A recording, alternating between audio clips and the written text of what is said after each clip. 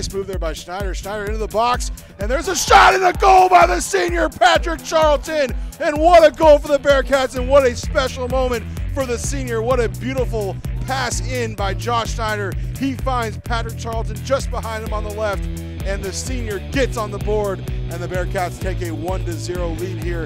Schneider with one defender in front of him sends it into the box to Sato. There's a shot by Sato and a goal for Ryan Sato. Another assist for Josh Schneider. And what a beautiful touch that was for Ryan Sato.